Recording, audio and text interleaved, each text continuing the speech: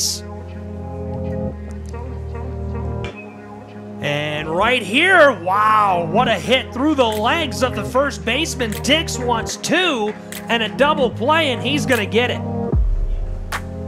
The full count pitch. Greg Ryan gets a hold of it, driven back right side towards the fence and off of the wall. Dix comes home. Ryan is safe at second with a double. Here's the delivery. Nelson swings on this with power, driven back in the center towards the wall, and it's gone. The home run ball for the Longwood University Lancers.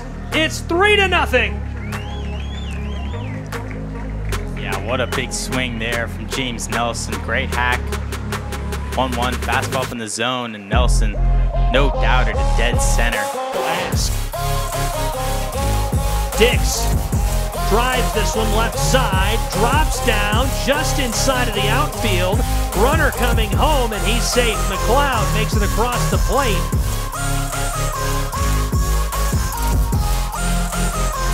Showing bunt and a great steal there. Into the 1 0 pitch. It's roped into the left outfield.